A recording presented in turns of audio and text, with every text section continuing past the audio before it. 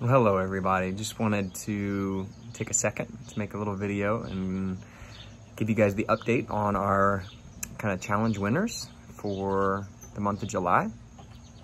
If you missed the initial um, kind of proposal, our goal for the month of July was to increase the number of vegetables that we eat. And I thought a great way to do that would be to encourage people to eat salads. Um, it's a strategy that I try to do during the summer.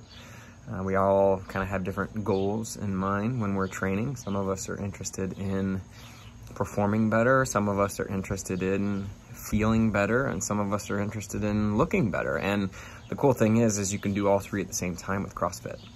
Um, so that's one thing I try to do during the summer is take one major carbohydrate meal a day and try to replace it with a salad. And granted, the salads, um, at least the salads that I was eating, have pretty substantial caloric intake. Um, so it's not like you're just eating like a bird for an entire month, but the idea is to consume more vitamins and minerals through whole foods. So that was kind of the idea behind the salad challenge.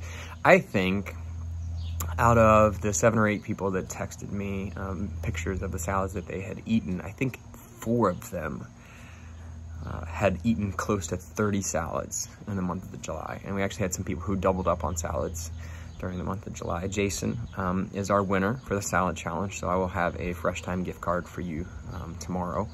And uh, then hopefully you can kind of keep the streak alive. If you didn't get a chance to be a part of our salad challenge, I would definitely encourage you to do it. It doesn't necessarily have to be something that you do as part of a challenge, quote unquote. Um, but eating more whole foods and getting those good veggies are gonna increase that fiber intake, which is gonna slow down your digestion time. So even if you're eating carbohydrates, rice, potatoes, that kind of stuff, if you incorporate a salad, it'll slow down that digestion time, which isn't as essential um, you know, if, if it's in and around your training time, because you want those carbohydrates to kind of get into your system relatively quickly, pre or post workout.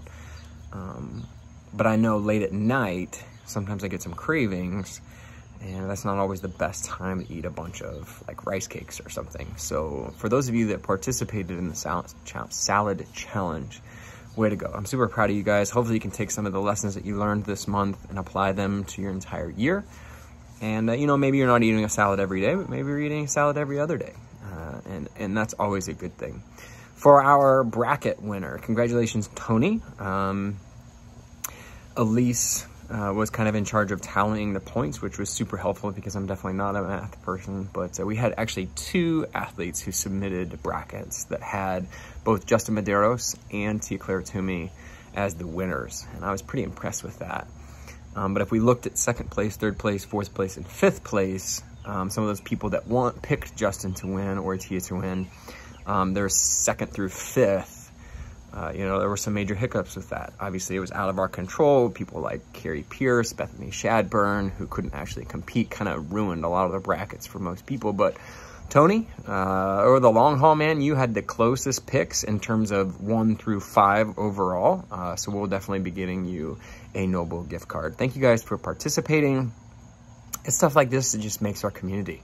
This is the stuff that, uh, you know, it just won't happen organically. This is one of the reasons why people like CrossFit is because this element of community and you're motivating each other, inspiring each other. And, you know, when there's a little bit of something on the line, it makes watching the CrossFit games a little bit more interesting. So hopefully you guys got to enjoy that this year definitely something that we want to continue doing throughout the year. I know uh, when the winter rolls around, we'll have a new like bike rower ski challenge and uh, we'll throw that out to you guys and give you a chance to compete. If this is something that you'd like to see more of, please pass that feedback along to me. I'd love to hear it.